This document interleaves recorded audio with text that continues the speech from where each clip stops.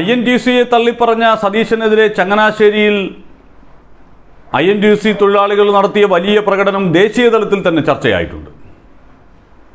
അങ്ങനെ ഒരു പാർട്ടിയുടെ നേതാവിനെതിരെ അതും പ്രതിപക്ഷ സ്ഥാനത്തിരിക്കുന്ന ഒരാൾക്കെതിരെ ഒരു പ്രകടനം നടത്തേണ്ടി വന്ന സാഹചര്യം. അതിനപ്പുറത്ത് സ്വന്തം തൊഴിലാളി സംഘടനയെ ഒരു നിർണായക ഘട്ടത്തിൽ തള്ളിപ്പറയാൻ സതീശൻ തയ്യാറായ സാഹചര്യം. ഇത് രണ്ടും ദേശീയ നേതൃത്വം വളരെ ഗൗരവത്തോടെയാണ് വിലയിരുത്തിയത്. അപ്പോൾ സതീശൻ എന്തിന്റെ അടിസ്ഥാനത്തിലാണ് ഐ എൻ ഡി യു സിയെ പാടെ തള്ളുന്ന നിലപാട് സ്വീകരിച്ചത് എന്നുള്ളതിൽ ഇപ്പോഴും കോൺഗ്രസ് നേതൃത്വത്തിന് വലിയ അമർഷമുണ്ട് അത്ഭുതമുണ്ട്. കാരണം I N D U C കോൺഗ്രസിന്റെ തൊഴിലാളി സംഘടന എന്ന നിലയിൽ അറിയപ്പെടുന്നതാണ്.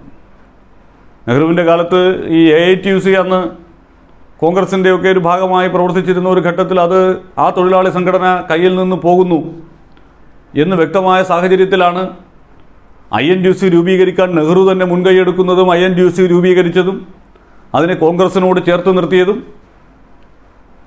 കോൺഗ്രസിന്റെ ഭാഗമായി തന്നെ അത് പ്രവർത്തിച്ചു വന്നതും കോൺഗ്രസിന്റെ ഫ്രണ്ടൽ ഓർഗനൈസേഷനുകളുടെ പട്ടികയിൽ ഐ എൻ ഡി സിയെ ഉൾപ്പെടുത്തിയതും കോൺഗ്രസിനെയും ഐ എൻ ഡി സിനെയും ഇണക്കിച്ചേർത്ത് കൊണ്ടുപോകുന്നതിന് പല ഘട്ടങ്ങളിലും കോർഡിനേഷൻ കമ്മിറ്റികളെ നിയോഗിച്ചതുമൊക്കെ.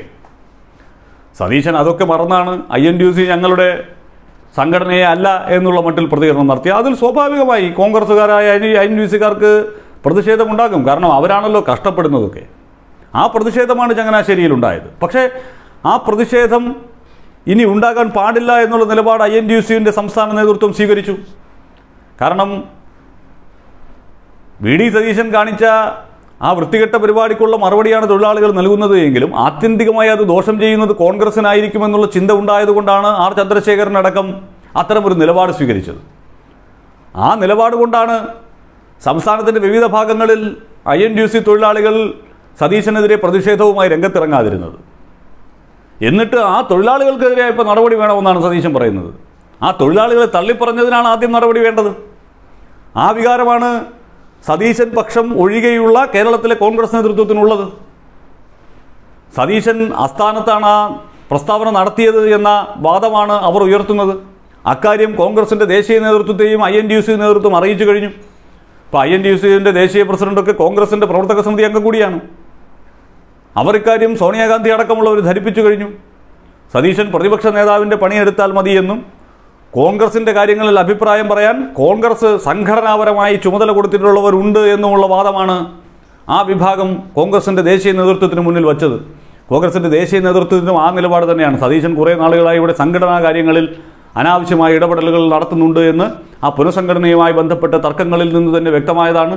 അതിനുശേഷമാണ് ആ നടപടി തന്നെ വേണ്ട എന്ന് ആ പുനഃസംഘടന തന്നെ ഉപേക്ഷിക്കാനുള്ള തീരുമാനം കോൺഗ്രസ് ഹൈക്കമാൻഡ് സ്വീകരിച്ചത്. അപ്പോൾ സതീശൻ ഇനി പ്രതിപക്ഷ നേതാവിന്റെ പണിയെടുത്താൽ മതിയെന്നും അദ്ദേഹം സംഘടനാ കാര്യങ്ങളിൽ അഭിപ്രായം പറഞ്ഞ് വലിയ കേമനാവാൻ നോക്കണ്ട എന്നുമുള്ള ആ സന്ദേശം കൃത്യമായി തന്നെ കോൺഗ്രസിന്റെ ദേശീയ നേതൃത്വം കെ പി സി സി വഴി സതീശന് കൈമാറിക്കഴിഞ്ഞു.